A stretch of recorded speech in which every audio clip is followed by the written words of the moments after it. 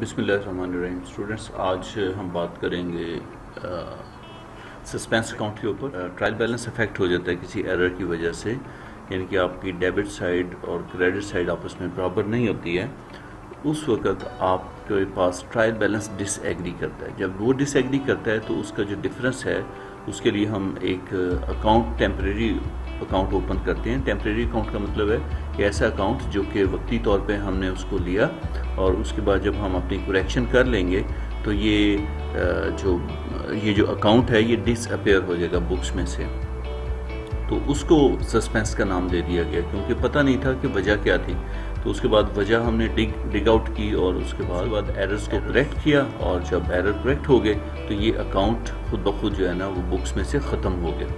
तो आए, चलते हैं सस्पेंस अकाउंट की तरफ़। तो सबसे पहले सस्पेंस अकाउंट जब हमें ओपन करना पड़ता है, उसकी रीज़न ये होती है कि हमारा जो ट्रायल बैलेंस है, उसकी डेबिट साइड और क्रेडिट साइड आपस में बराबर नहीं होती। जैसा कि आप यहाँ पर एग्जांपल में देख रहे हैं कि हमारे पास डेबिट साइड का जो टोटल है, जो ट्रायल बैलेंस की डेबिट साइड थी, जैसे ये ट्रायल बैलेंस हमने लिया था, इसकी जो डेबिट साइड का टोटल था, वो आया था ट्वेल्व थाउज़ेंड और क्रेडिट साइड का टोटल जो है, वो आया था ten thousand so as a principle हमने क्या करना होता है कि अक्सर स्टूडेंट्स यहाँ पे कंफ्यूज हो जाते हैं, जी ट्वेल्व थाउज़ेंड में से दो हज़ार माइनस कर लें या क्या करें? तो इसमें आपने करना ये है कि जो शॉर्टर साइड है, उधर इतने पैसे लिख लें, इतनी अमाउंट लिख लें कि वो जो लार्जर साइड है, उसके बराबर हो जाए, उसके बराबर हो जाए। जैसे यहाँ पर डेबिट साइड आपके पास ट्वेल्व थाउज़ेंड आ रही है ट्रायल बैलेंस की, जबकि क्रेडिट साइड है टेन थाउज़ेंड तो आप कैसे इसको टेन थाउज़ेंड को दूसरी साइड डेबिट साइड के बराबर करेंगे, अगर आप इसमें टू थाउज़ेंड लिखते हैं? तो टू थाउज़ेंड क्रेडिट साइड पे फर्दर लिख कर यानी कि आपने अब ये खुद से अमाउंट लिखी है, ये भी पता नहीं है, लेकिन टू टू थाउज़ेंड का जो डिफरेंस है, वो आपने डिसपेयर करना है. तो क्रेडिट साइड पे आप 2000 डाल देंगे तो आपका सस्पेंस अकाउंट लिखा जाएगा। अमाउंट जो है उसमें 2000 लिखेंगे और जहाँ पर आपके लेजर के नाम लिखे हुए हैं तो ये लेजर जो खुलेगा, ये जो टी अकाउंट खुलेगा, इसका नाम होगा सस्पेंस अकाउंट तो सस्पेंस अकाउंट जब आप टी अकाउंट की शेप में बनाएँगे, जैसे कि यहाँ पर मैं अगर इसे यहाँ पर 2000 लिख देता हूँ, ये देखिए 2000 मैंने यहाँ पर लिख दिया। और इधर आपको पता है कि सारे के सारे वो लेजर के नाम लिखे थे। तो यहाँ पे मैं सस्पेंस अकाउंट सस्पेंस अकाउंट लिख दूँगा इसका नाम। तो जब मैं सस्पेंस अकाउंट का टी अकाउंट ओपन करूँगा, जैसे कि ये मैं टी अकाउंट बना रहा हूँ इधर टी अकाउंट ओपन करूँगा तो ये वाला जो 2000 है, क्योंकि ये क्रेडिट साइड पे है, लिहाजा यहाँ पर क्रेडिट साइड पे 2000 लिख देंगे यहाँ पर।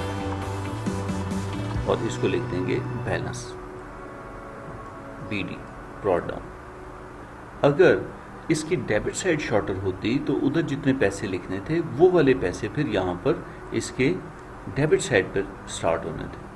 तो उसके बाद हम करेक्शन कर लेंगे, कोई करेक्शन इधर आ जाएगी, कोई इधर आ जाएगी। जब इसका टोटल करेंगे तो इसका फिर कैरी डाउन बैलेंस नहीं रहेगा। सीडी जो बैलेंस है, इधर कुछ भी नहीं आएगा। ना इस साइड पे आएगा, ना ही सीडी बैलेंस इधर आएगा। तो इसका मतलब ये हुआ कि अब आपने सही तरीके से करेक्शन कर ली। तो ये बेसिक इसका है कि इसको हम क्यों ओपन करते हैं? क्योंकि हमारा ट्रायल बैलेंस डिसएग्री कर जाता है। डेबिट साइड के टोटल्स क्रेडिट साइड के टोटल्स के बराबर नहीं होते। शॉर्टर साइड पे आपने पैसे लिखने होते हैं। और साथ ही साथ आपने सस्पेंस का टी अकाउंट ओपन कर लेना होता है। तो जो शॉर्टर साइड पे आपने पैसे लिखे वो क्रेडिट साइड थी और लिहाजा इसका जो ओपनिंग बैलेंस ठहरेगा ओपनिंग बैलेंस जो आप लिखेंगे टी अकाउंट के अंदर, वो आप इसकी क्रेडिट साइड पे लिखेंगे। अगर डेबिट साइड शॉर्टर होगी, जितने पैसे वहाँ पे लिखने पड़े, वो फॉर एग्जांपल इधर हम लिख लेते हैं वाई अमाउंट तो वो वाला जो अमाउंट वो वाली अमाउंट है, वो आपकी डेबिट साइड पे फिर आनी थी। तो ये आपने इसका ख्याल रखना तो चलिए अब देखते हैं कि कुछ कुछ एग्जांपल्स लेते हैं और टी काउंट बनाकर तो फिर इसको फर्दर हैं ये देखिए, ये एक एग्जांपल ली गई कि आपका जो ट्रायल बैलेंस था, जो आपने प्रिपेयर किया, उसका जो टोटल ऑफ़ डेबिट साइड है वो ट्वेल्व थाउज़ेंड था और टोटल ऑफ़ क्रेडिट साइड हमारा जो है ना वो टेन थाउज़ेंड था। तो टू थाउज़ेंड आपको सस्पेंस में डालने पड़े। तो सस्पेंस में डालने के बाद आपके डेबिट और क्रेडिट क्रेडिट और डेबिट दोनों साइड्स बराबर हो जाने चाहिए। तो ये अब जो टोटल आपको नज़र आ रहा है, ये ट्वेल्व थाउज़ेंड ईच है। तो यहाँ पर सस्पेंस अकाउंट आपने लिखा सस्पेंस अकाउंट की क्रेडिट साइड के ऊपर टू थाउज़ेंड अब आपने डालना है। क्योंकि यहाँ पर जो आपको पता है ट्रायल बैलेंस में तो सिर्फ़ और सिर्फ़ जो उनके बैलेंसेज होते हैं ब्रॉड डाउन बैलेंस वो आते हैं। तो यहाँ पे ब्रॉड डाउन बैलेंस कितना आया हुआ है? टू थाउज़ेंड तो टू थाउज़ेंड आपने ये वाला टू थाउज़ेंड ये देखिए ये आपने यहाँ पर लिख लिया टू थाउज़ेंड सस्पेंस अकाउंट को ओपन करके जैसे पिछली स्लाइड के अंदर भी हमने किया था। तो यहाँ पर आपने सबसे पहले तो ये काम करना है और इसको आपने कैरी डाउन नहीं ये मुझसे गलती हुई यहाँ पे ब्रॉड डाउन लिखेंगे आप। कैरी डाउन बैलेंस इसका आएगा ही नहीं। अब हम चलते हैं। एरर्स कौन से थे जिनकी वजह से आ, आपका सस्पेंस अकाउंट या ट्रायल बैलेंस डिसएग्री किया जिस वजह से सस्पेंस अकाउंट बना? तो पहला जो एरर है, उसको हम देखते हैं। पहले एरर के अंदर क्या हुआ कि the sale day book was over casted by 100 sale day book आपने 100 डॉलर से ज़्यादा लिख दी। सेल डे बुक का जो इफ़ेक्ट है, वो सेल अकाउंट के अंदर सीधा का सीधा गया। सेल आपने ज़्यादा लिख दी हैं। तो अब हम क्या करेंगे? सेल को डेबिट कर लेंगे और सस्पेंस अकाउंट को कर लेंगे क्रेडिट तो ये वाला जो हंड्रेड डॉलर है सस्पेंस अकाउंट से हुआ क्रेडिट ये देखिए कि हंड्रेड डॉलर का इफ़ेक्ट इधर आ गया। ये जो पहला पहला आपका एरर था, ये वाला, और इसकी वजह से सस्पेंस अकाउंट आपका क्रेडिट हो गया। दूसरा एरर है paid rent was debited to the rent account ठीक है रेंट के अंदर ही जाना चाहिए था but not recorded in the cash book cash book को क्रेडिट होना चाहिए था, नहीं हुआ। कैश कम होना चाहिए था, नहीं हुआ। अब हम क्या करेंगे कि उसका एक इफ़ेक्ट तो आ चुका, दूसरा इफ़ेक्ट नहीं आया। रेंट के अकाउंट के अंदर डेबिट एंट्री डाल चुकी है कैश में क्रेडिट नहीं डली। तो कैश को हम क्रेडिट कर लेंगे और सस्पेंस अकाउंट को कर लेंगे डेबिट तो ये 1800 आपका ये सेकेंड एरर यहाँ पर अपेयर होगा तीसरी एंट्री क्या है कि डिस्काउंट रिसीव्ड इनकम है आपकी वॉज़ नॉट पोस्टेड तो डिस्काउंट रिसीव को अगर पोस्ट नहीं किया, इसका मतलब डिस्काउंट रिसीव का जो अकाउंट है, जो टी अकाउंट है, उसके क्रेडिट साइड पे पैसे नहीं डाले तो अब डाल देंगे। 300 और वही सस्पेंस अकाउंट की जब डबल एंट्री करेंगे, आपको पता है डबल एंट्री के अंदर जब हमने करना होता है तो उसकी डेबिट साइड और क्रेडिट साइड दोनों बराबर होती हैं। तो यहाँ पर हम उसको जो है ना, वो करेक्शन के अंदर सस्पेंस अकाउंट को डेबिट कर देंगे और डिस्काउंट रिसीव को क्रेडिट कर देंगे तो हमारी करेक्शन हो जाएगी। अब इसके अलावा और कोई आपका एरर नहीं बचा था।